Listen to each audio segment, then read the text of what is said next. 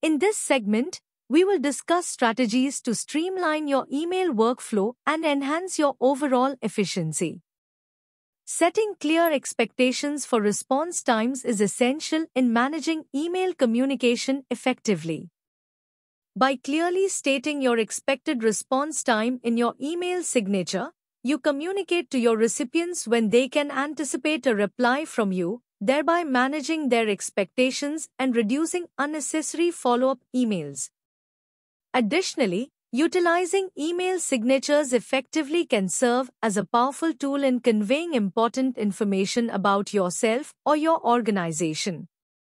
Including your contact details, job title, and company information not only adds credibility to your emails but also makes it easier for recipients to reach out to you if needed.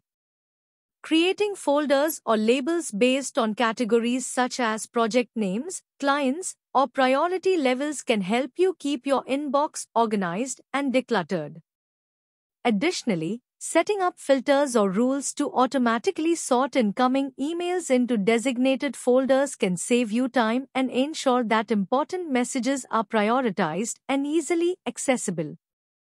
By implementing these strategies for managing email communication, you can reduce inbox clutter, improve response times, and enhance overall productivity.